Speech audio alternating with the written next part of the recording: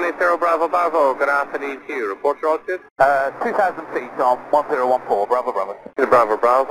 Hello YouTube, Wycliffe Barrett here, X-Plane Dedicated. Today we're going to look at Orbx's Global Terra Flora. But before we do that, don't forget, subscribe to the channel. Make sure you give me a thumbs up or a thumbs down if you dislike the video. And also hit the notification bell and then you'll be notified of videos that go live regarding X-Plane 11. So, Global Terra Flora for X-Plane 11. What is it? Well, what it is is a complete new kind of set of textures for trees for the whole world. Now, not only is it for the whole world, but there are different trees in different parts of the world, and these are HD quality trees as it was in the ESP version of FSX some years ago. So what I did, I thought I would go to three different loca locations so we could have a look at the trees in those locations. And here we are at to South Wales, not very far from Cardiff Airport, in an area where the viaduct is, and this is Porthkerry Park. Now, I've been here many times uh, for a drive and a walk, and as we zoom in here, we're coming into a valley beneath the uh, viaduct there. You can see a White House. I've driven to that White House and you can walk up here up this valley. Now look at these trees here. There's a huge variation in the trees. Now we've got oaks, we've got sycamores, there are even some pine trees in there as well.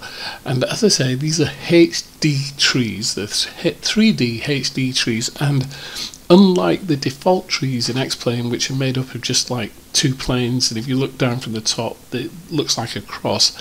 These are fully 3D trees. Now I don't know how they've been created but they've been created by the talented team at Turbulent Designs and it just looks amazing. And it, it replaces all the trees throughout the whole world. Now I thought it was going to be a huge package but it's actually only around about 23 megabytes. If that is really, really a small package, but looks superb. So what I thought I'd do is move away from Porthkerry Park and we'd move towards uh, where I live because there's an ancient wood not very far from where I live called Plymouth Woods. I thought let's have a look at that. And on my way there you could see all the trees are placed accurately around golf courses and down lanes and roads and across fields. Here we are, we're coming up towards Wenvoe. You can see the television mast there. As we come up towards Culverhouse Cross, which is not very far from where I live. Here's Culverhouse Cross now, and then we come across this estate and down towards the uh, Plymouth Wood area as I was talking about. And in the middle of the pitch, you can see a white kind of square building. That is St Fagans, which is the National Living Museum of Wales. Uh, one of my, in fact, a few of my friends have been there. I've taken them there. Frank came when he came over from uh, the United States. We went for a quick visit to uh, St Fagans Living Museum of Wales. So that's where that is. And all the trees around there, incredibly accurate. Uh, it looks superb. So I think, apart from replacing all of the trees throughout the whole world, it also actually enhances them because they're slightly different. They look better in some way. So I'm quite pleased about that. It looks really, really good. Um, whether you're talking whether you're taking flight over densely populated forests or soaring around lush islands, Terraflora XP will ensure trees of the world look pleasing to the eye in all seasons, in all scenarios. so here we are in Corfu. Now I lived in Corfu for a couple of years and I thought, let's have a look.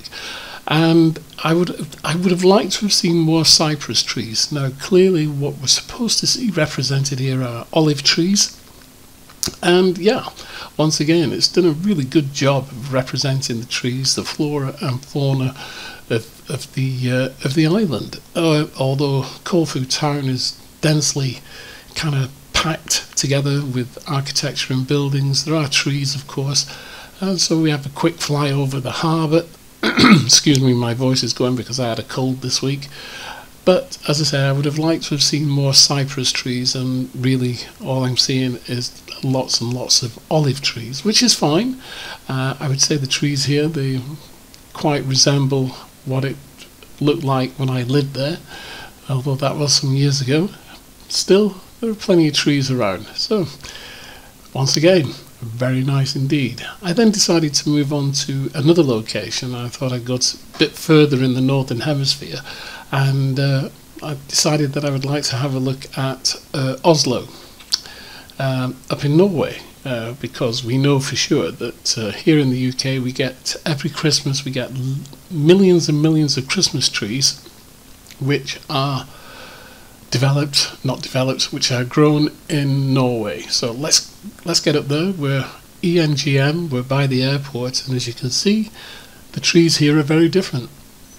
No, no longer do no longer do we see oak trees and sycamore trees, but all we're seeing is Nordic pines.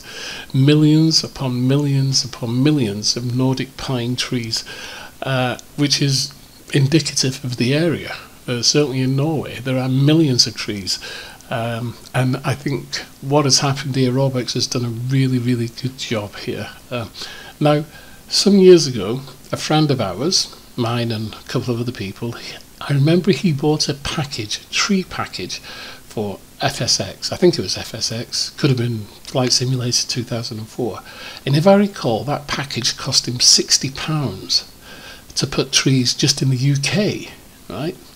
This only costs £13.27 and it's new trees for the whole world and it works with uh, Orbx True Earth scenery, so True Earth Great Britain South, North and Central.